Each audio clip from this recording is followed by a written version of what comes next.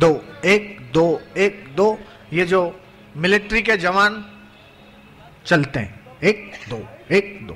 फिर जब पुलिया आती है ना, ऑर्डर मिलता है, ताल तोड़ो। क्यों? पुल टूट सकता है। वीक हो सकता है। कमज़ोर हो सकता है। क्यों? एक साथ जब उनके पाँव जाते हैं, ताल को बेताल किया जाता है। आप सोचो, ताल में कितनी शक्ति है।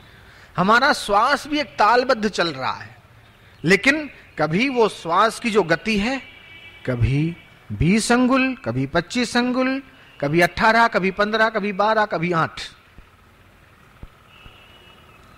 घड़ी सामने रखो, पाँच मिनट में आपने कितने सांस लिए?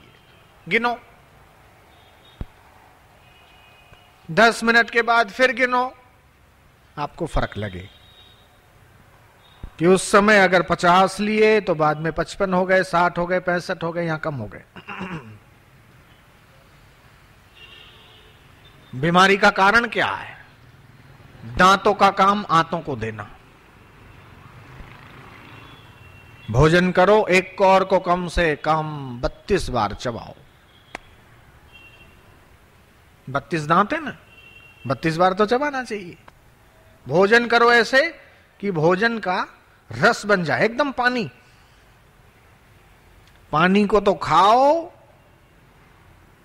अन्न को पियो। ये लीलाशा बापू कहा करते थे।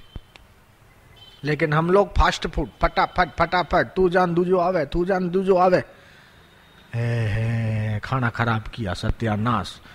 ओ, बाबूजी कई करूँ? पेट में गोड़ो चल रही हो, ऊपर नीचे हो रहे हो। कोई घुस गयो मेरे अंदर। अरे, किसी ने कुछ नहीं किया। बोले, मेरी जो देरानी है ना, सामने रहती, उसने कुछ टोटका किया मेरे ऊपर।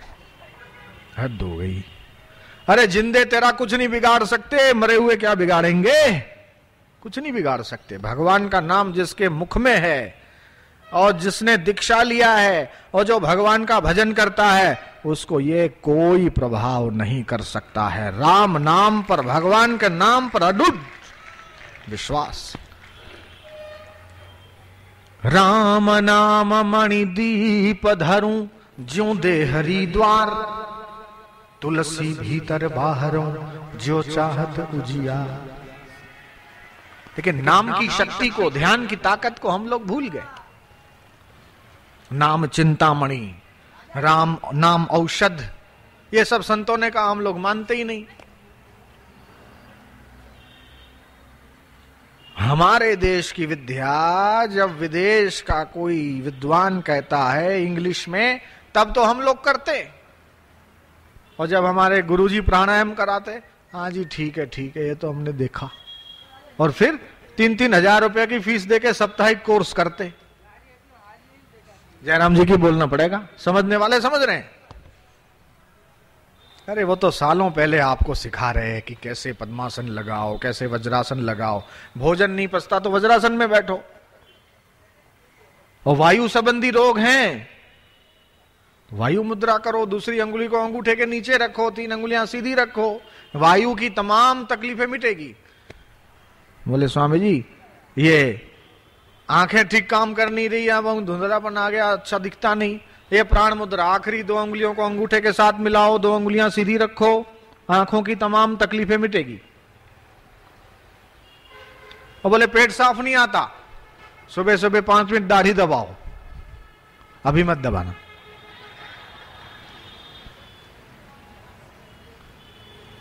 पेट साफ़ हो जाता है। ये चूरण, वो चूरण, ये लेने की ज़रूरत ही नहीं है। एक रुपए का खर्च नहीं, एक पैसा नया नहीं लगना। एकदम सरल। करते नहीं। जहाँ पूरे विश्व के लोग भारतीय अध्यात्म पे और भारतीय योग विद्या पे दीवाने बने हुए हैं, उसी के प्रति हम लोग उपेक्षा किए हुए हैं। अफसोस। तो ये चौहत्तर प्रकार की चिकित्सा पद्धतियाँ हैं। नो साइड इफ़ेक्ट हम लोग एलोपैथी की शरण जा रहे उसमें पाँच हज़ार दवाइयाँ मार्केट में वो मिल रही है जिनका लाइसेंस ही नहीं। मेरा दौंड में प्रवचन हुआ, महाराष्ट्र में। पूना से आगे पड़ता दौंड। वह अहमदनगर की एक फैमिली आई। वो माता पिता अपनी शादीशुदा एक लड़की को लेके आए। वो बोले, आँखों से नहीं देखती। मैंने कहा, क्यों? दो बच्चे हैं बोले। इसको शरीर में खुजली हो गई, डॉक्टर के पास गई, डॉक्टर ने उसको गोली लिख के दी, वो दो गोली खाई, शरीर में इतनी गर्मी बढ़ गई, ये अंधी हो गई। हल्दी कैसे डालती होगी सब्ज़ी में? नमक कैसे डालती होगी? दो उसके छोटे छोटे बच्चे। तो डॉक्टर के पास गए, डॉक्टर बोलता है कि हज़ार केस में एक आध केस ऐसा होता है, ये इसकी साइड इफ़ेक्ट है, हम कुछ नहीं कर सकते। अब खुजली हो रही है तो भी एलोपैथी की शरण। सिर दुख रहा है, तब भी एलोपैथी की शरण। नींद नहीं आ रहा है, तब भी एलोपैथी दवाई। ये शरीर है कि प्रयोगशाला? जरा सी नीम की पत्तियाँ उबालो, उससे स्नान करो। तुलसी के पत्तों को रोज खाओ। कैंसर कभी होने की संभावना ही नहीं है। करते नहीं।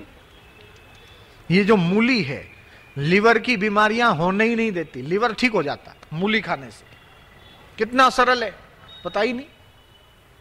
किसी को भी लीवर की खराबी है, मूली रोज खाओ। बोले, स्वामी जी, खावे तो रोज, लेकिन डकार बहुत गंदी आती।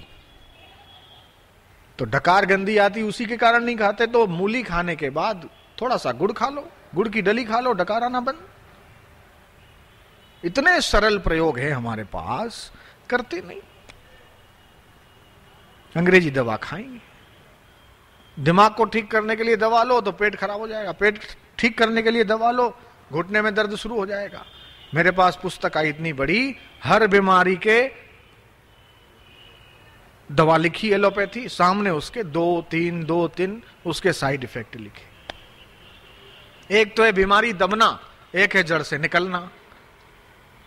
गंदगी पड़ी है, चादर ढाक दो, बोले, बढ़िया लग रहा। अरे अंदर तो बड़ा पड़ा। प्राकृतिक चिकित्सा। चौहत्तर प्रकार की चिकित्सा पद्धतियाँ ऐसी है जो बिना दवाई के आपके शरीर को फिट रख सकती उसके ऊपर रिसर्च हो रहा है, और करने की ज़रूरत है। और हम तो ऐसा विचार बना रहे हैं कि विश्व में एक ऐसा स्थान बनावे जहाँ ये चौहत्तर प्रकार की चिकित्सा पद्धतियाँ एक ही जगह पर उपलब्ध हो। मंत्र चिकित्सा, संगीत चिकित्सा एक्यूप्रेशर गौ चिकित्सा। एक डॉक्टर हैं गौ चिकित्सा के ऊपर काम कर रहे हैं, बोले, दुनिया में कहीं जो बीमारी ठीक नहीं हुई, वो बीमारी मैं ठीक करता हूँ गौ चिकित्सा से, गौमूत्र से, और ये गो घनवटी से, गौ दुग्ध से छाछ से, मक्खन से इससे पूरी दुनिया के फैल रोगी उनके वहाँ ठीक हो रहे लेकिन जब इसको पेटेंट अमेरिका करा लेगा और फिर दो सौ रुपए में, पाँच सौ रुपए में आपको इतनी सी डब्बी बढ़िया पैकिंग में मार्केट में मिलेगी, तब आप लोग कहोगे, ये तो बहुत अच्छी है। और इधर आश्रम का गोवर्क पच्चीस रुपए वाला फालतू लग रहा है आपको। वही जो वैदराज हल्दी और नमक और सेंधव और हरडे देता था अखबार की पुड़िया में तो बोले, ये तो कोई पाँच रुपए की तो कोई दवाई होती होगी, फिर अच्छे टेबलेट में वो पचास रुपया खर्च के दो गोली लेके आएँगे। इसलिए ओम, जब आप ओम कहते हो ना, नाभि पे उसका असर होता है। जब राम कहते हो, तब हृदय पे इसका आंदोलन होता है। सत्संग में आने से पहले आप सबका चेकअप होना चाहिए। कितना हाई बीपी है, कितना लो बीपी है, श्वेत कण कितने, रक्त कण कटने, टेंशन, डिप्रेशन, तनाव, चिंता। और जब सत्संग दो घंटे ध्यान भजन करके, प्राणायाम करके, जब आप वापस जाओ, उस समय फिर एक रिपोर्ट निकालना। फिर उन दोनों की तुलना आप करके आप देखो, क्या फ़ायदा हुआ है। विश्वास नहीं हो तो ऐसा करके देखो, भले जिसको शंका हो